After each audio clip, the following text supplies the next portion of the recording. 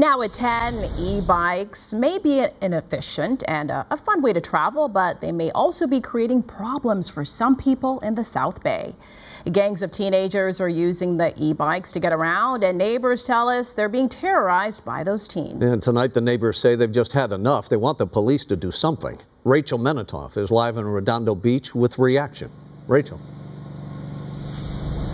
Rick Kareen, this is a problem, especially once school lets out for the summer. A lot of people tell us the e-bikes give kids too much freedom, and in some cases, it seems like they're abusing it. Hermosa Beach police impounding dozens of illegal electric bikes to deter what they say is an uptick in teen takeovers in cities across the South Bay. In videos seen online, groups of young people, oftentimes driving at excessive speeds, have been known to accost, harass, or even assault passersby. You're giving kids, kids, uh, the opportunity to hurt themselves. There's no real regulations. Shane McLaughlin says it's a trend that's tough to tackle. You know, you have law enforcement with their hands tied. They're either doing serious crimes and having to work that, or they're trying to, you know, trying to battle um, these violations with these youth.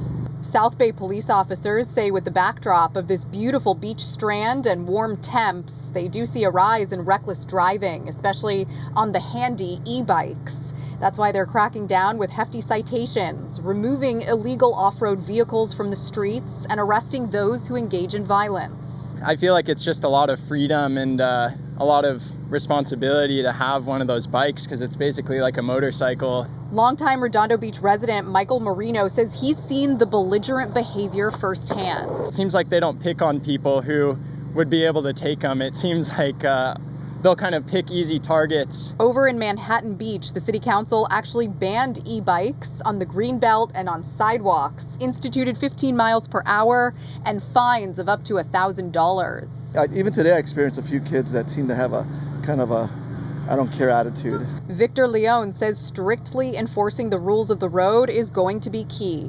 If you're driving a car and you get pulled over for speeding or you know drinking and driving, then they you know, you get you get taken in and they take your vehicle. I think you do that a few times and they'll get the message. Police have also been holding assemblies at local high schools to explain to students what's allowed and what's not, so they're hoping that enforcement plus education does the trick. We're live in Redondo Beach tonight. I'm Rachel Menitoff. Rick Kareen, back to you in the studio. All right, Rachel, thanks so much.